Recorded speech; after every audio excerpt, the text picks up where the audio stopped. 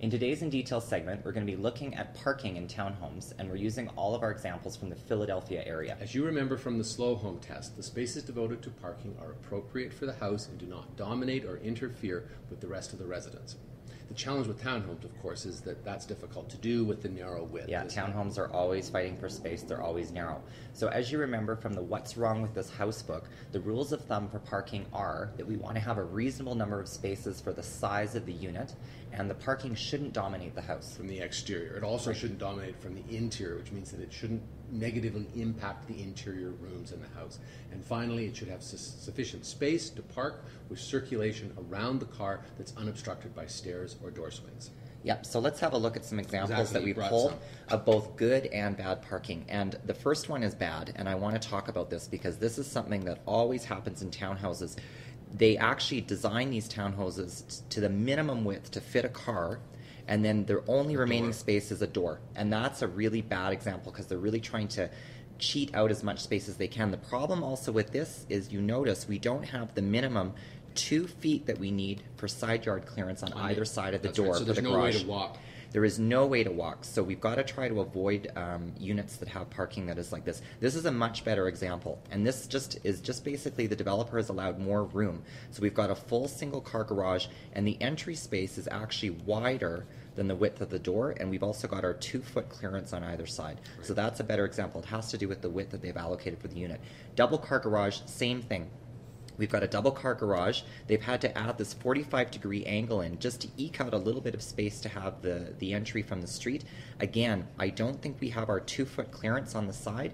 We also have an issue with the stair to the upper floor being dotted in, which means that it's encroaching in the headroom of the parking garage. So that's a problem. So this is a much better example. This is where they've used the whole width for parking on the ground floor, but the entry to the unit is actually on the second floor. So that's a better way of doing it rather than trying to jam in an entry. If you've got a really narrow width. Yeah, if you've got a narrow width, it's better to try to get the entry up if that's possible. Um, this is another example that's poor, and we see this all the time. We've got our standard single car garage, which is okay.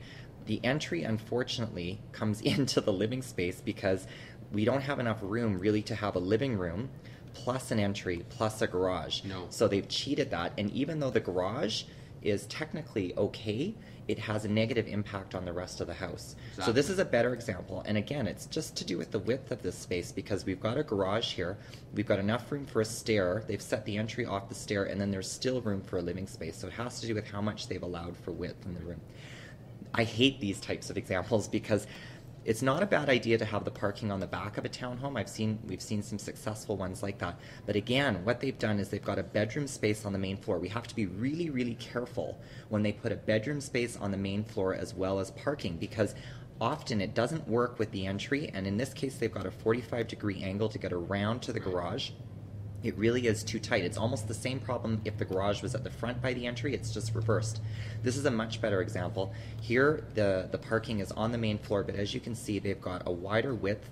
They've also got a place that you can come So you into the house. An entry that's shared. Exactly, and these are actually quite successful because the door to the garage really should be adjacent, I think, to the entry if it's on the ground level, and we shouldn't create a whole separate entry for the garage.